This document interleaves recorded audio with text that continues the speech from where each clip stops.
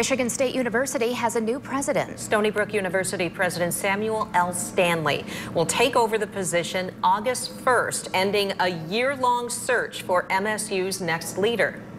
24 Hour News 8's Lindsay McComal sat in a press conference with the new president that just wrapped up minutes ago. She's live on campus with more on this announcement this noon.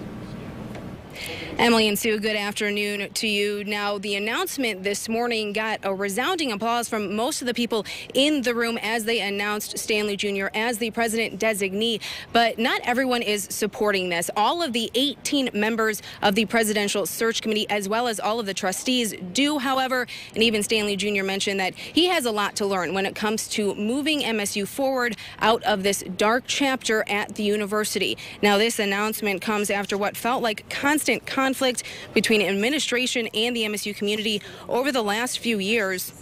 President Lou Anna K. Simon stepped down at the beginning of 2018. Former Governor John Engler was then appointed interim president without any public input and quickly became a polarizing figure because of his tone and statements. That then led to him stepping down because of his actions as interim. And Satish Udpa became acting president in January of this year. And that now brings us to today when Dr. Stanley was unanimously voted as MSU's 21st president effective August 1st. He he addressed the Nassar scandal during that meeting. I also see a Spartan community that has had a turbulent and difficult time, a community in need of healing. Like Dr. Udpa and the board, I want to meet with the survivors and their families, listen to their voices and their thoughts, and learn from them. And I want to work with them and all of the campus community to ensure that changes that need to be made are implemented.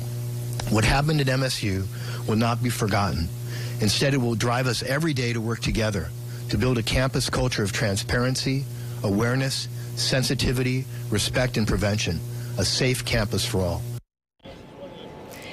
Now, specific to the pushback that the announcement is getting, there are a few groups on campus, specifically Reclaim MSU, upset over the fact that this presidential search became closed after the initial stages began last year. They wanted to know the finalists' names prior to a selection being made, which is the exact opposite of what happened today. So I'll have more from them coming up at 5 and 6. As for the president designee, you can go to woodtv.com right now to see more on his background, including what he accomplished at Stony Brook. Reporting live in East Lansing, Lindsay McComal, 24 Hour News 8.